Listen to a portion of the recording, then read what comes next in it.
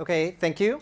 Um, I teach a course, Biology 101, and last fall it enrolled 220 students. This big group of people here is as large as many classes at Yale College. These are just the instructors for the course. It's two professors and 12 teaching fellows.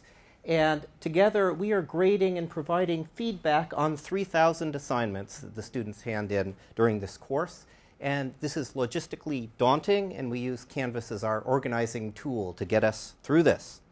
One of the simplest things that we use Canvas for is just, just distribute course materials to the students. So here in this files function, we've loaded up a whole bunch of folders of materials, so lecture notes for every lecture, a study guide for every lecture, all of the reading assignments. Students go, go in here, download everything electronically. There's 180 megabytes of materials that students can download in these folders.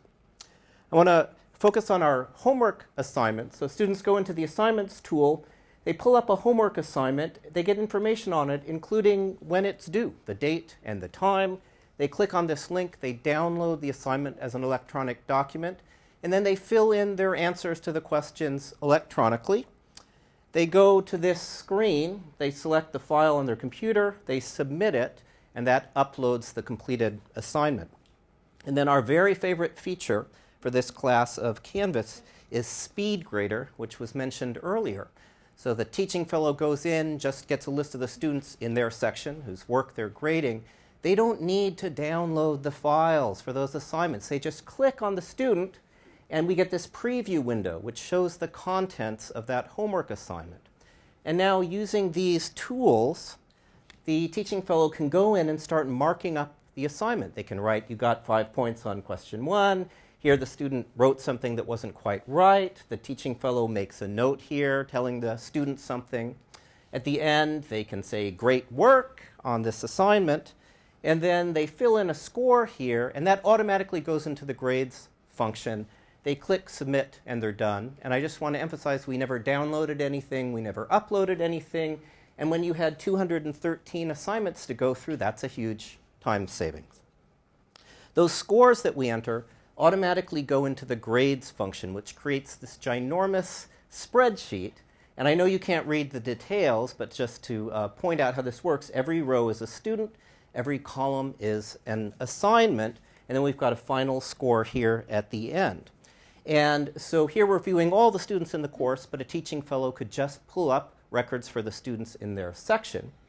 When we set this up at the beginning of the semester, we assigned a point value or a percentage value for every assignment. Um, and then this system can automatically take those values into account and calculate a final score.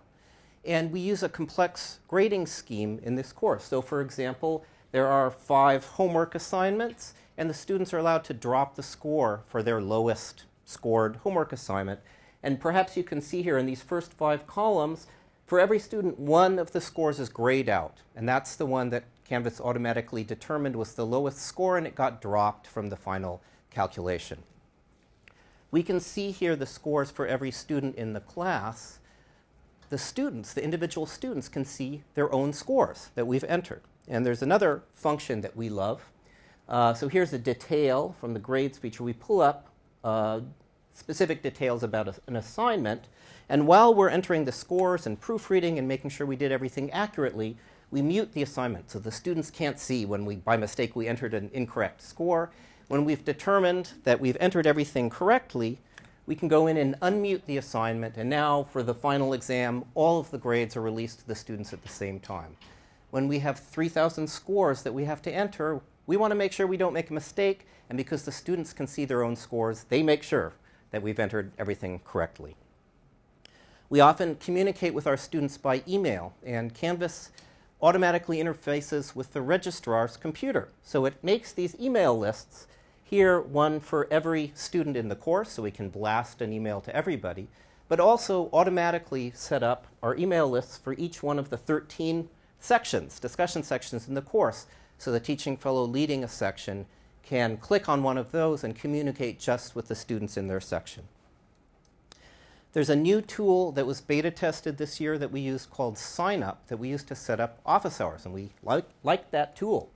So here we are. I decide that I've got three hours available tomorrow when I could meet with students. I go into SignUp.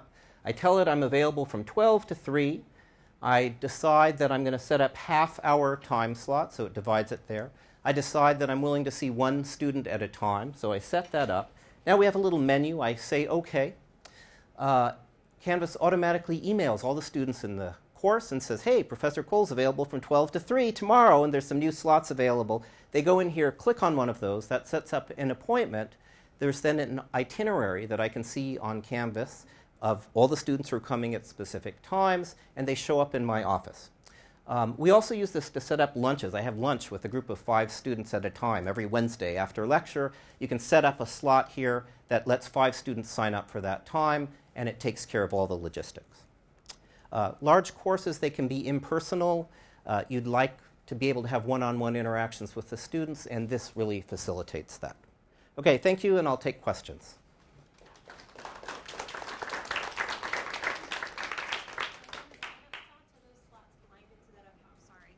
Um, in the sign-up section, are those slots blinded so other students couldn't see? I believe so. So the student just sees that a slot is available. Uh, I can see who's coming, but they can't see the other students. You can choose that as an option, though, if you wanted to allow students to swap spots. You have the choice to determine whether or not they will see it.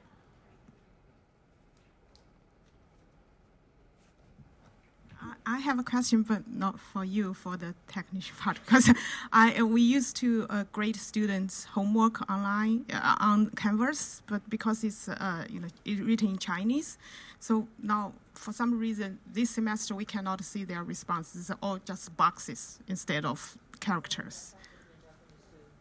Yeah, last year it worked well, but this year we cannot just you know grade it on Canvas. We have to download it and then upload. So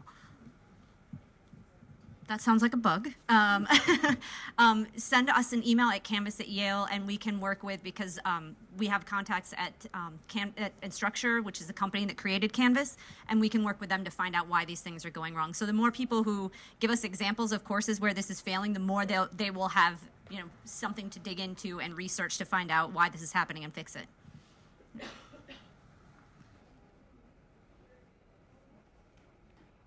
Any other questions?